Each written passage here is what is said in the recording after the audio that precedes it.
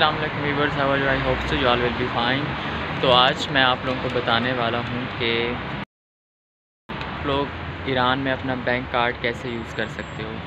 तो let's go ATM हर जगह आपको मिलती क्योंकि यहाँ पे तो सारा डिजिटल सिस्टम है, पैसे तो कोई भी नहीं उठाता।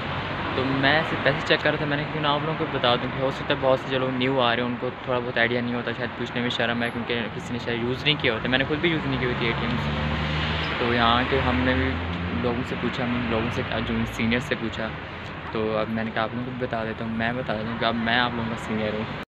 फ़र्स्ट तो आप लोगों ने पहले ऐसी मशीन ढूंढनी है बच्चों अल्ले बता रहा हूँ मैं। मतलब अलिफ से ये तक। इसके बाद आपके पास कार्ड होगा कुछ इस तरह। ये देखिए, जैसे मेरा नाम मेंशन है, Syed Shoaib Raza. This is here is my name written you can see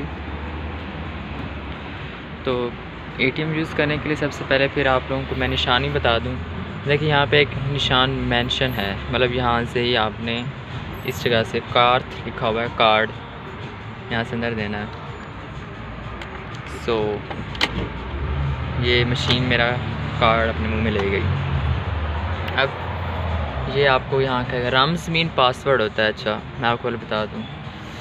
लुत्फ़न रम्स खुदरा वारद कुनीत मीन अपना मेहरबानी करा, करके अपना जो है ना पासवर्ड लिखा है। मैंने बता दिया तो आप लोग मेरे पैसे निकाल सकते हो। इस वजह से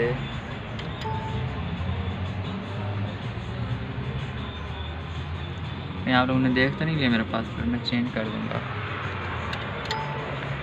हो गया, उसके बाद इंटर प्रेस करना है। ऐलान मौजूदगी। ऐलान मौजूदगी तो नहीं होता, ऐलान होता है, लेकिन I don't know what mean मौजूदा बैलेंस तो मैं इस पर क्लिक कर रहा हूँ। मेरे बहुत सारे पैसे होंगे इसमें, करोड़ों पैसे हैं। ओ माय गॉड तुम लोगों ने क्या समझा? मैं तुम लोगों के सामने यहाँ पासवर्ड सही लिखूँगा। ओके तो उन्होंने कहा, आपने पासवर्ड गलत लिखा है, अपना पासवर्ड सही करो। अब मैंने पासवर्ड सही लिखा है। अब एंटर को प्रेस करूँगा। अब मौजूदा बैलेंस अब यहाँ पे आएगा। बैलेंस कितने करोड़ हैं? अच्छा आप देख सकते हैं। तीन करोड़ उनतीस लाख। और, बहत्तर हज़ार दो सौ रियाल। ओ माय गॉड मैं एक पर्ची पहले निकाल भी चुका हूँ। इनके पास पैसे ज़्यादा होते हैं। पर्ची निकाल रहा हूँ, पैसे नहीं हैं। फिर मी कार्ड जो है ना मुझे वापस दो।